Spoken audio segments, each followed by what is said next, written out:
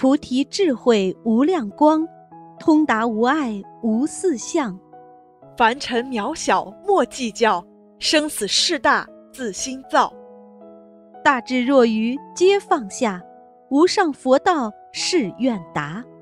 大家好，欢迎来到今天的学佛早班车。师傅说，宁静是最好的静修，清净才能无染。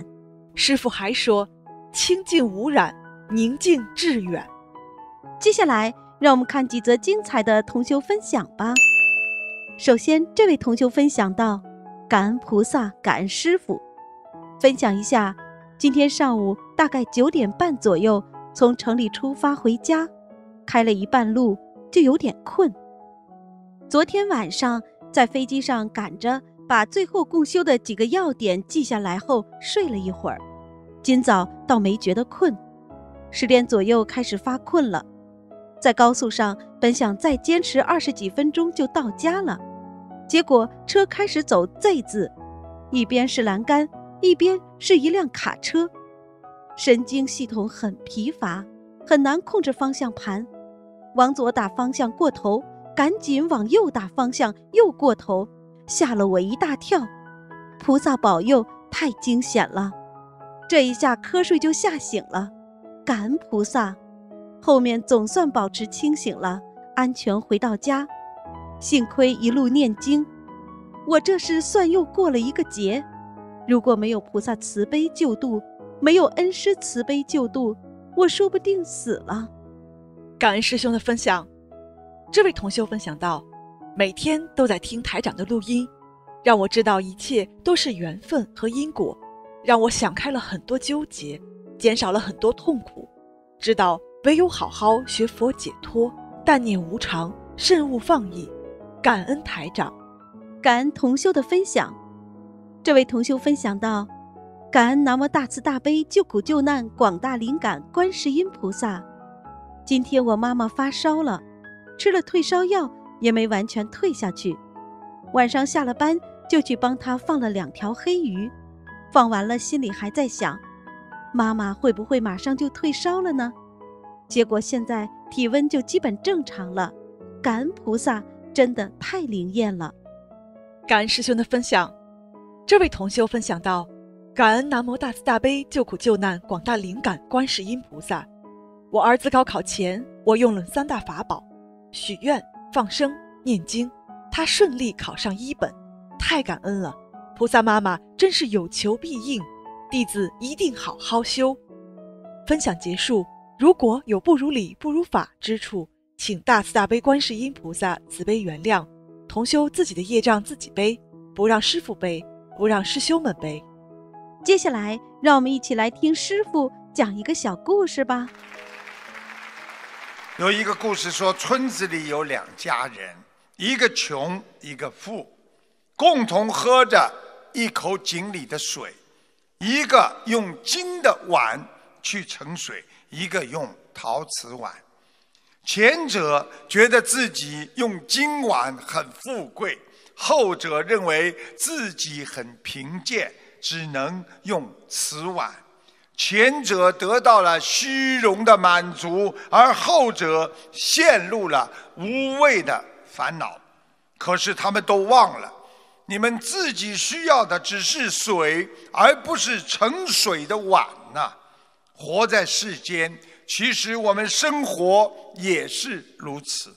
不要被自己不需要的东西所烦恼。人生像碗一样，要盛得下山珍海味，也要装得下粗茶淡饭。能倒出美酒和白水，也能把这个碗放上汤汤水水。人生如碗呐。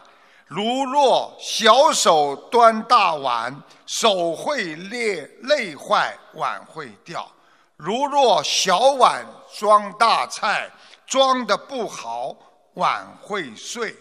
人生不可妄自大，凡事需要有商量。碗有多大装多大，碗小学会且由他。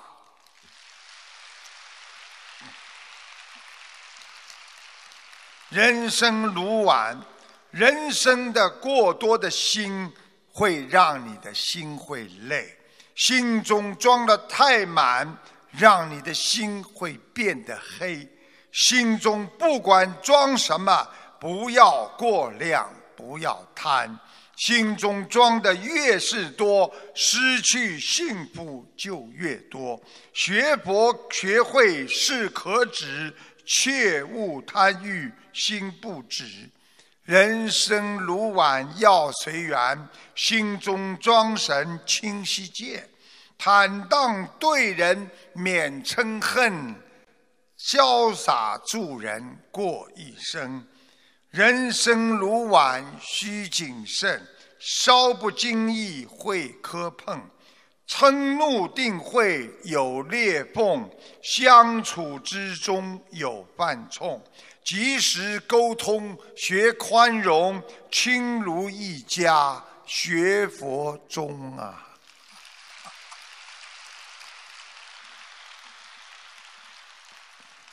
这个碗还没讲完呢。碗还有很多，人生如碗靠适中，懂得知足心常空，学会珍惜碗别摔。人生难得今已得，佛法难闻今已闻。学佛路上不停步，一世修成报佛恩呐。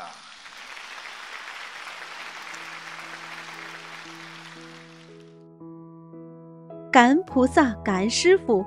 在今天节目的最后，让我们再一起听师傅的几句佛言佛语。坐得下来的人，他一定站得起来；能够安静的人，他一定会有精力。浪费时光的人，他的生命是短暂的；努力精进的人，他的生命是无限的；学习佛法的人，他的智慧是永恒的。好了，以上就是今天学佛早班车的内容。希望每个人都可以元气满满迎接每一天，加油吧，学佛人！嗯，同时也期待明天同一时间与您在这里再次相会。